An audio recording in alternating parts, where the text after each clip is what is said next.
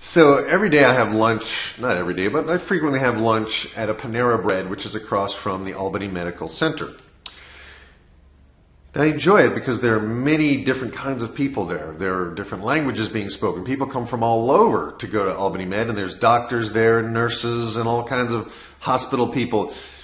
But if you've ever sat next to a table of nurses, this will this will strike fear in your heart because every conversation is about how someone is not doing their job.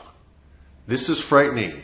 Do I ever want to go to a hospital and have the nurse that really isn't doing her job that all the other nurses talk about at lunch?